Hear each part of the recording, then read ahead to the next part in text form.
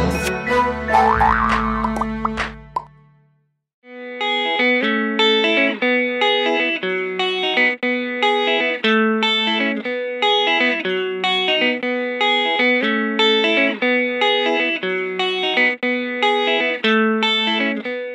mungkin sih. Aku lagi aku baru selesai syuting film sama hmm. um, Raffi Ahmad dan Ayu Ting Ting dan insya Allah tahun depan um, saya. Ya. Yeah.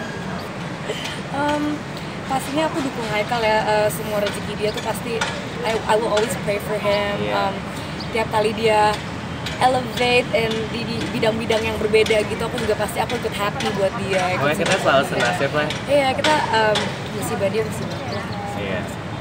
Belajar acting dari Val juga nggak sih? oh iya pokoknya dia kalau mana dikit aktingnya langsung tinggi mbak.